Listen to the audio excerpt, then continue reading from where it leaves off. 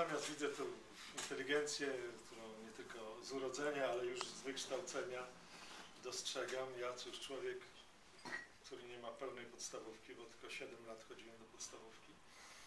Ale ostatnio dowiedziałem się, że wy jeszcze krótszą macie podstawóweczkę. Ale gimnazjum w ogóle mnie nie chciało przyjąć, w ogóle takich nie było. Więc mm, czasem miałem nadzieję, że kiedyś tę ósmą klasę zrobię w podstawówce. Nie ma, okazuje się.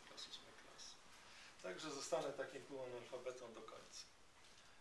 Niemniej jednak człowiek czasami urodzi się taki dziwny człowiek jak ja. Ja się urodziłem 1 kwietnia w niedzielę, więc nie mogę być tak do końca typowy. Kiedyś y, taki był podobny do mnie człowiek, nazywał się Leonardo da Vinci, zajmował się wieloma rzeczami. Oczywiście takim artystą to jak Leonardo ja nie jestem, ale też zajmowałem się w życiu wieloma rzeczami.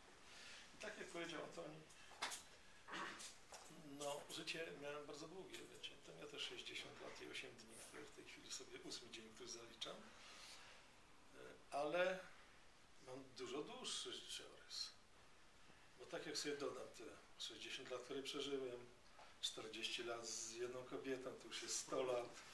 Potem jak zacznę dodawać, ile byłem harcerzem, strażakiem, leśnikiem i tak dalej, to już ten Matuzalem, który żył 700 lat, to już tak nieodległe ode mnie ilości